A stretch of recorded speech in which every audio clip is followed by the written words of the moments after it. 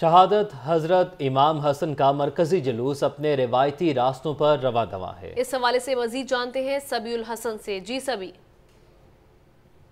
یہ اٹھائیس صفحہ کا دن ہے۔ امام حسن ابن ابی طالب کا مرکزی جلوس اس وقت اپنے روایتی راستوں پر گامزن ہے۔ اس وقت محلہ شیعہ سے برآمد ہونے والا جلوس جو ہے گجر گلی میں موجود ہے۔ گجر گلی کے بعد جو ہے، وہ جلوس روایتی راستوں سے ہوتا ہوا دوبارہ جو ہے چوک نواب صاحب پہنچے گا چوک نواب صاحب کے بعد روایتی راستوں سے ہوتا ہوا مسجد وزیر خان پر پہنچے گا، جہاں پر کچھ دیر کا قیام کیا جائے گا۔ اس کے بعد وہاں پر ماتمداری کا سلسلہ جو ہے، وہ بھی شروع کیا جائے گا۔ اس کے ساتھ ساتھ اگر بات کی جائے یہاں پر سبیلوں کی لنگر کی تو کثیر تعداد میں سبیلیں اور لنگر کا اہتمام کیا گیا اگر میرا آپ کو کیمرہ مین یہاں پر پیچھے کی جانب دکھا سکے تو یہ وہ روٹ ہے محلہ شیعہ کا، جہاں سے کچھ دیر کے بعد جلوس جو ہے وہ برآمد ہونے والا جلوس جو ہے یہاں سے گزرے گا گجر گلی کے بعد سے ہوتا ہوا چوک نواب صاحب پہنچے گا۔ چوک نواب صاحب بالکل میرے یہاں پر، بالکل میرے سامنے چوک نواب صاحب ہے، جہاں پر کچھ دیر یہاں پر قیام کیا جائے گا۔ تابوت تابوت امام حسن جو ہے اس کی زیارت کی جائے گی۔ زائرین کی بڑی تعداد موجود ہے زدار یہاں پہ بڑی تعداد میں موجود ہیں۔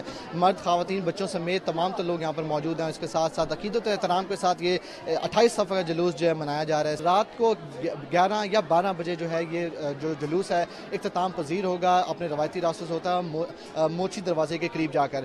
اس وقت اگر سیکورٹی کی بھی بات کی جائے تو تمام تر لوگ یہاں پر موجود ہیں۔ جو خواتین ہیں، وہ بڑی تعداد میں موجود ہیں۔ جو تابوت امام حسن ہے اس کی زیارت کرنے کے لیے تمام تر لوگ جو ہیں یہاں پر پہنچے اور یہ مرکزی جلوس، اٹھائیس سفر کا ایک مرکزی جلوس ہے، جس کی زیارت کے لیے یہاں پر آنے والے جو مومنین ہیں، جو ازادار ہیں، وہ مختلف پنجاب کے مختلف علاقوں سے